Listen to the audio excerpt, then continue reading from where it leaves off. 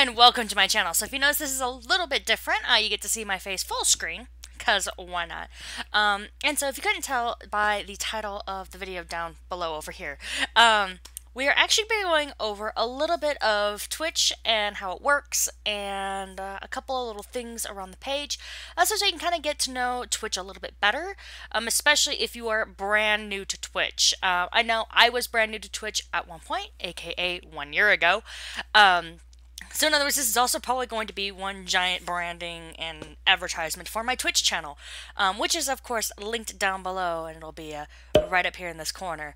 Um, but it is Jazmine's Sim. I do mostly play The Sims on there. Um, but let's go ahead. We're going to hop into the uh, Twitch website and we're going to go over it a little bit and kind of talk about some of the different features, where you can find stuff, and uh, how to customize your stream. So anyway, so this is the Twitch main page. Um, I'm to move, to move me up here. Why not? Um, so if you notice over here on the left, these are my follow channels. These are people that I follow, and then uh, you can always hit show more. I got I got a lot of people I'm following. Um, it gives you your recommended channels just like YouTube does. If you hit this little Twitch button, brings you back to this home page, um, which kind of gives you what they think you like based on what you've watched, what you stream yourself, that sort of thing. Over here in the top right, you'll see this little button here has your name, has your picture, um, and how you want to be viewed on the uh, page. I didn't select invisible, but I guess we will go with that for now. Um, so you can select online or you can select invisible depending on how you uh, want to be perceived. Um, you can switch between light mode and dark mode. I prefer dark mode just because I generally um, it it's usually up on my second screen and I don't want it to display a lot of light back on me. I, that's why I have custom lights and beautiful lights everywhere. In fact, oh hey, that probably looks a little better. a little bit. Anyway, so if you come here, this is your channel. So this will be, this will bring you to your channel that, um, that you broadcast out over here is the chat room. Um, so this way, if you're if you are just looking to watch Twitch and you just want a little bit of information, um, essentially this is what most pages are going to look like.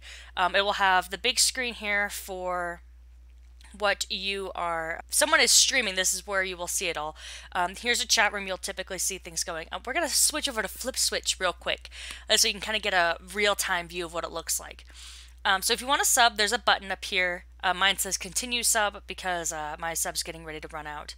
Um, but here is the chat room. There is bits for subscribing and bits are only for people that are affiliate or partnered. Um, I am currently affiliated and um, so I get to receive bits and receive subs to my channel. Um, the little heart is if you want to follow them, and then the bell is if you want to turn notifications on, and then it will send an email or a push notification to directly to your phone. So you can see here people are starting to fill the chat up. Um, if you want to give somebody bits, you just hit this little button here. And there's all sorts of different bit options you can choose. So if you hit this one, or for every bit you give a streamer, they get one penny. So if you give them 100 bits, they get a dollar. That sort of thing. Um, so you can just type in here. Usually they have rules. If, if there's rules, then it pops up. Um, but if you scroll down, you'll see that there is their panels here. And I have panels on my stream as well, um, which are here. So if you're on your own page, if you are deciding that you want to stream, uh, but you can see here I have a whole bunch of different panels. Uh, there is my socials here. So and when you're in the edit panels, it does they do tend to give you like little hints and tricks on how to do all that.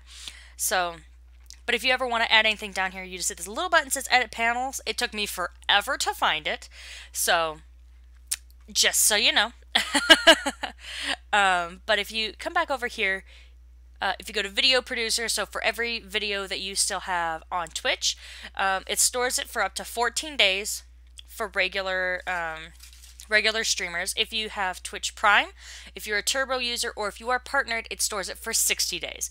And since I am, uh, since I have Twitch Prime, it also stores all mine for 60 days, which is really nice. Not that um, here's the dashboard. We'll come back to this because there's a lot to cover on the dashboard. But if we keep scrolling down, here's a list of my friends. You can have friends and you can have followers.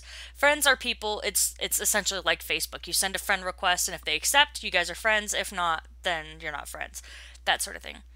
Um, here's a list of my subscriptions. Um, That's who you're subscribed to, not who is subscribed to you. Um, inventory is, in, I guess, for in-game loot. Uh, payments just covers how how everything is paid for on your Twitch. So if you want to use it for buying biddies, um, we're going to keep moving on though, and then you can go to your settings page, um, and this is where you can update your profile picture, your profile banner, um, and then if you scroll down, you can you can also update your bio. So this way, it says a little bit about you, who you are as a streamer. Um, and then it goes over to your Twitch Prime. If you have Twitch Prime, you get to select your own color for your username. Um, and then you can select which kind of emotes you want to use. A free Prime sub because you get one every month. Um, it does not renew to that person. So if you want to renew to that person, you have to go back to their page at the end of your subscription and renew. Um, I believe it does it like five days before. Uh, you can you can resub approximately five days before it um, expires. Um, so here is where you can find all sorts of different options. So there's like chat options here. So if you have auto mod, you can have that enabled, disabled. Um, if you want to block hyperlinks, if somebody must have a, verified email address, which if you're a very small streamer or if you're doing things that are generally out of the ordinary or against the stereotypical norm, I would honestly suggest that you have enabled. Um, because otherwise you can get trolls and then they end up because anybody can make an account and then go chat. They don't have to have a verified email to chat in everyone's chat room. So that's what i would suggest. You don't have to take that advice um, but um, so then you can also set your own rules. Um, here's where you will find any banned people from your chat. Mine's empty. Apparently all the banned accounts got deleted. Um, for security and privacy um, here's where you can change your password if you want to enable two-factor authentication. Um, if you want to block whispers from strangers, and whispers are essentially um, a private message. Um, you can also receive. You can also block receiving gifts from channels you don't follow because in in the chat or in the channel they can gift subscriptions out. So what can happen is somebody can say, "Hey, I want to gift a subscription to someone else." Um, your notifications, if you want to have notifications. This is where you can connect your Amazon account in case you have Amazon Prime, which if you do have Amazon Prime, I do suggest checking it out because uh, you can get special deals, you can get in-game loot, you can get um, you get free games. Uh, there's all sorts of stuff you get with Twitch Prime, so I definitely suggest it if you have Amazon Prime. And then there's lastly recommendations, um, and then of course you can just log out. But let's go back to that dashboard thing that we were talking about. So this is my dashboard. This is generally what I watch when I am streaming. And so this way I can keep an eye on my frame rates, I can keep an eye on the stream, I can keep an eye on how my video feed is going.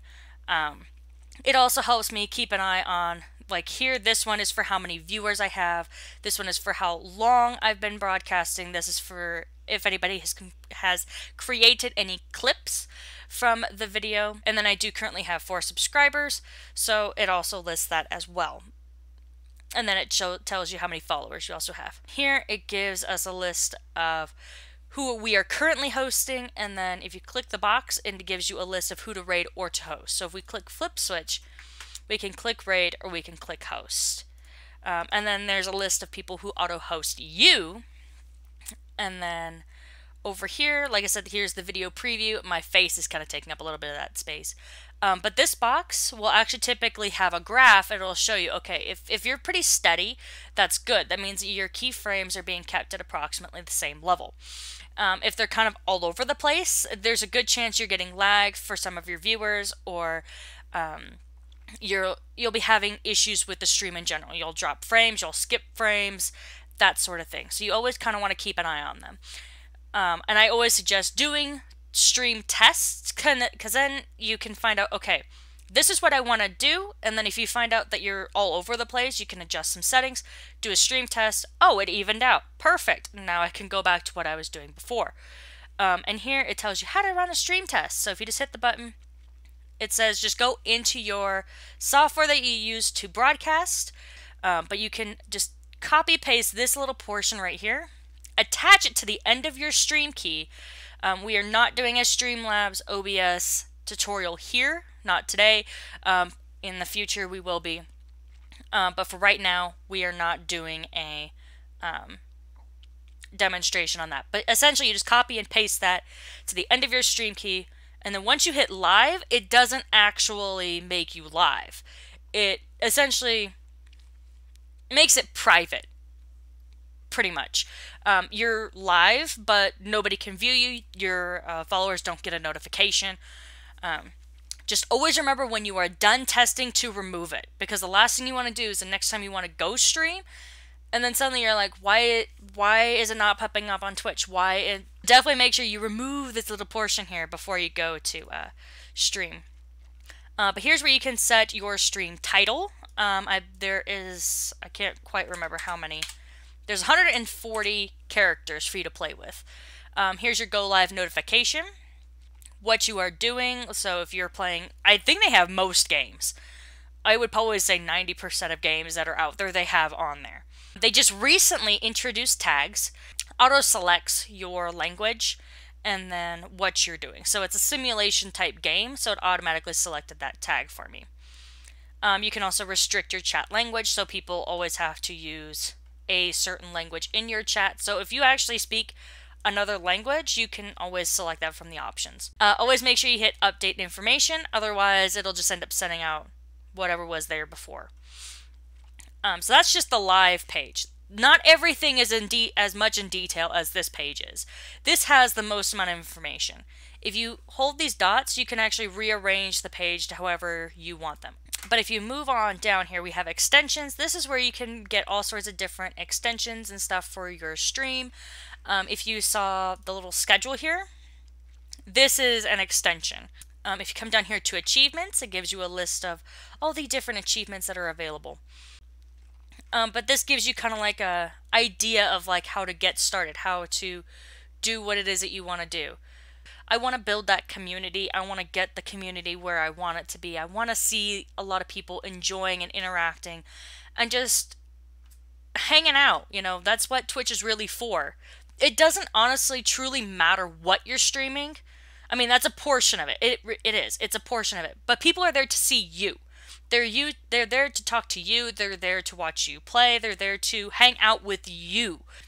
If you're not interacting with your chatters or your viewers or anything, they're not going to come back.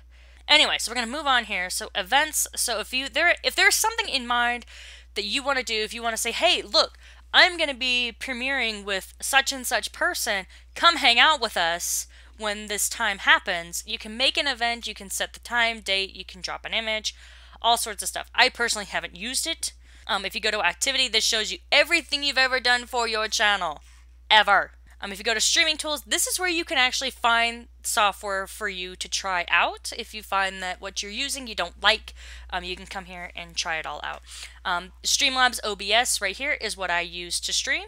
And then o Open Broadcast Software is what everybody calls OBS. Essentially, Streamlabs OBS is they took regular OBS and smashed it with the Streamlabs that's down here. You kind of get the best of both worlds with it, which is what my personal preference is. Then we can move down here to channel. So this shows all the different analytics for your channel. So it says that I've had 4.6 average viewers for the last 30 days. Um, I've had 449 views for the last 30 days. I've gained 20 followers over the last 30 days. Um, I've gained $16 for the last 30 days, and I have had three subscriptions in the last 30 days. This breaks it down even more. Um, you can also email your subs. So if you do have a, quite a few subs, um, every once in a while it'd be nice to send them an email. Just say, hey, thanks for being subbed to the channel. It means a lot. Um, I just recently did that for one of my for for myself when they reply back to it, it's not they don't get your personal email. They get essentially something from Twitch sent to you, sent to them.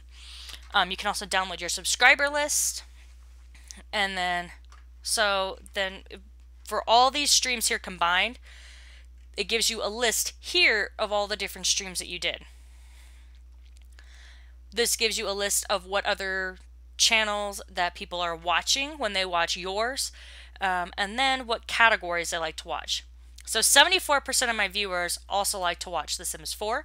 15% of them also like to watch Fortnite. 6% of them like just chatting, 4% Overwatch, and so on and so forth. Depending on what you're doing, you may find it be more diverse, sometimes it won't be as diverse.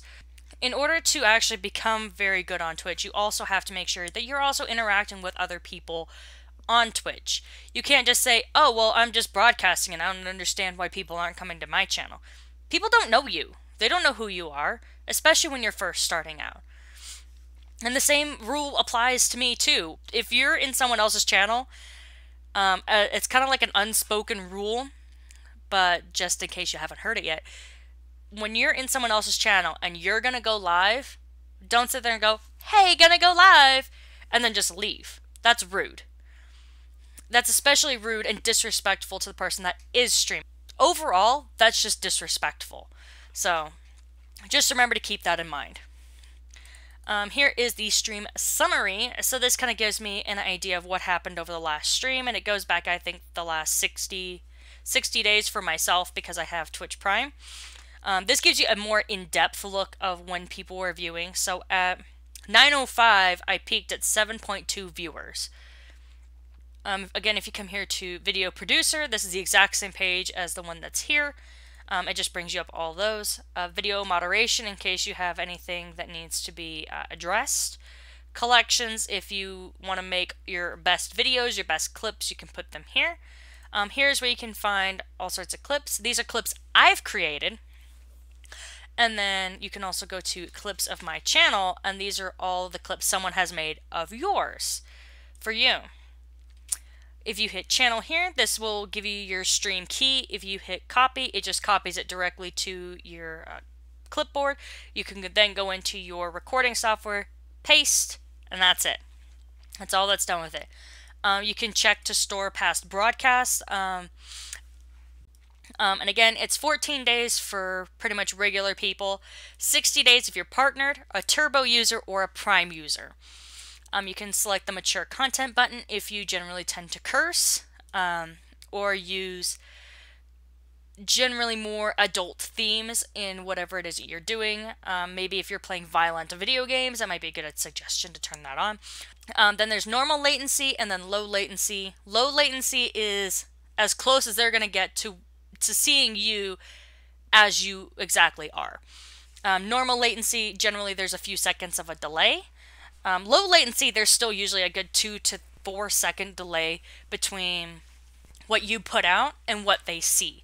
Um, essentially, it's just putting it out as fast as possible in order to get it so this way they can watch you when you're doing all that.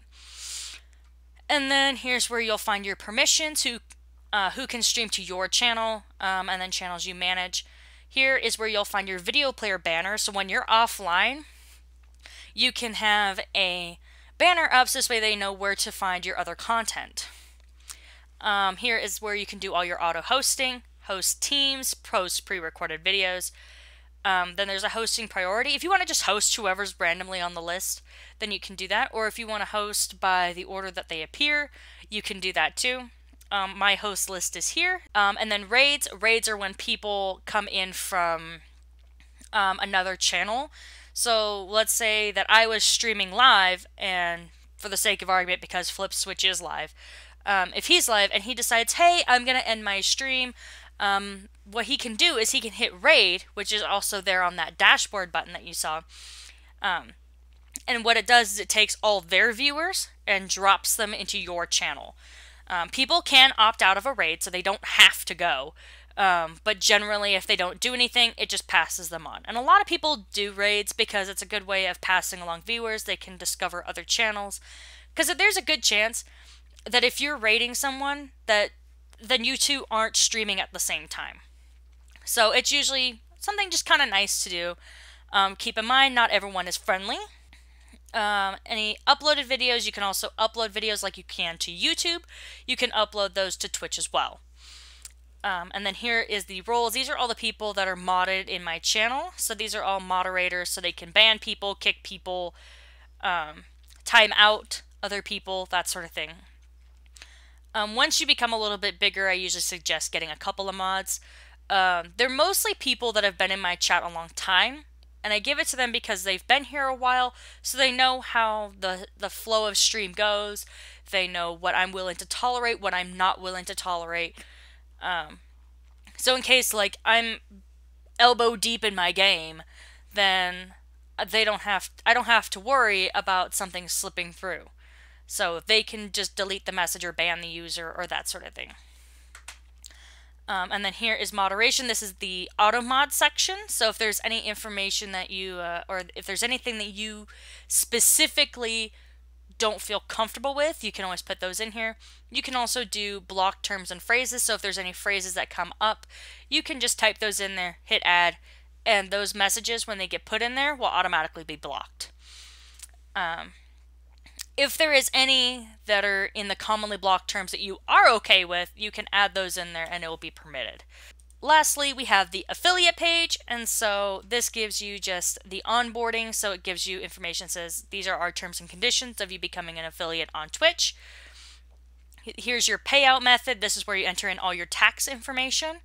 Um, so your address, your name, that sort of stuff and then the affiliate agreement, which is where it says, okay, now that you've gone through all this, you have to agree to our terms and conditions. Then you can do subscription names. So if I had a better idea for what tier 1, tier 2, and tier 3 subs would be, then they would be renamed. Um, but once you become an affiliate, you get options to create emotes. I have two emotes currently on my channel. I have the little heart with a biscuit because it is named after my dog. And then I have my dog as the second emotion or emoticon. Um, and then you can always upload, you can upload one for each tier as an affiliate. Once you become partner, then you can open up a whole bunch more. Um, and then there's loyalty badges. That's brand new to affiliates within approximately the last six-ish months. Um, I have my own sub badges. I have one for three, for the base, three months, six months, and then one year um, and then two to eight years after you become partner. So that's pretty much it. I think that's a good roundabout uh, description of Twitch. There's a lot of stuff to take in.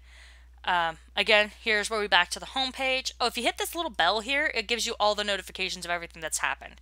So if you get gifted any subs, if there's um, any achievements you hit, all that stuff drops here. Um, and then Prime Loot, if you have Twitch Prime, you can then come in here, come in here and claim offers, get information on them. There's all sorts of stuff. Uh, there was one for Black Friday where you could pay $25 and you got 2,500 biddies, which was actually a really good freaking deal because you're paying direct amounts for them. And then that gets passed on directly to the streamer, which is kind of nice. So, anyway, make sure you definitely come and check out my Twitch channel. I would greatly appreciate it. Even if you just came out, checked out a VOD, and said, hey, you know what? might enjoy seeing her live.